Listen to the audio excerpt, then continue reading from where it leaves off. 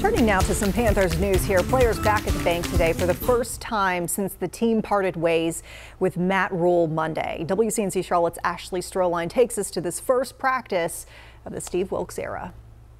The Carolina Panthers returned to work on Wednesday for their first official practice under interim head coach Steve Wilks. Now, Wilks told us he made the decision to change Wednesdays to padded practices moving forward starting today. And per Wilks, the result was a practice with great tempo and urgency.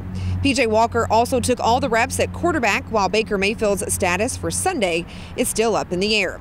Wednesday marked the first opportunity we had to speak with players after David Tepper made the decision to part ways with Matt Rhule.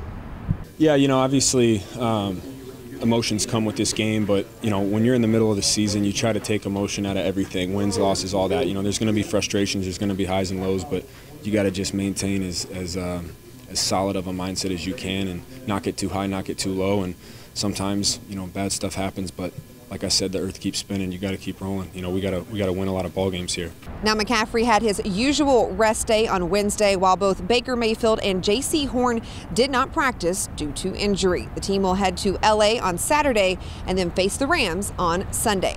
At Bank of America Stadium for WCNC Charlotte, I'm Ashley Stroehlein.